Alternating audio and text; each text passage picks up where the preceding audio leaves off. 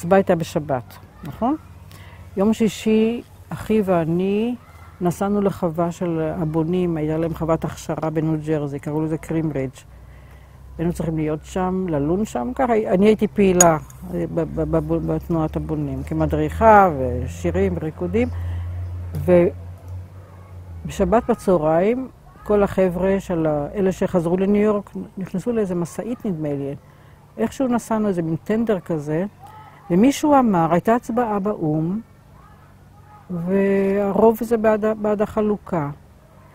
אחד המדריכים הבוגרים שם, דיוויד, דייב ברסלאו, הוא כבר לא בחיים, איש מאוד רציני.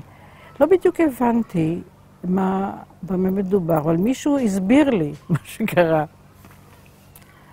והרכב הזה הגיע למנהטן, ואז משם הגענו למלון, ואז אז נפגשתי עם אבא ואימא, והתברר, אז התברר לי מה שקרה, ואז תפסתי, בכל זאת, אני לא לגמרי אה, טמבל.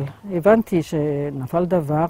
התרגשות עצומה, היו שם עוד אנשים, ואז מיד מיד לבלוע משהו ואנחנו להתלבש יפה.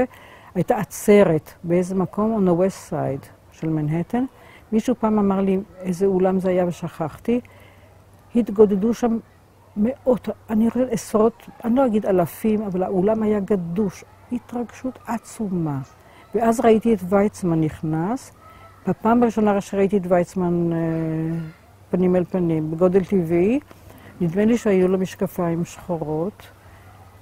הוא דיבר, ואני זוכרת שאימי תמיד אמרה שיש לו קול נעים מאוד. אני לא זוכרת באיזה שפה הוא דיבר, אני לא זוכרת אם הוא דיבר יידיש או, או אנגלית, נדמה לי, אני לא זוכרת.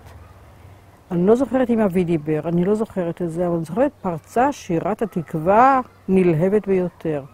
זה היה מאורע מאוד מאוד מאוד מרעיש, את זה אני לא שוכחת.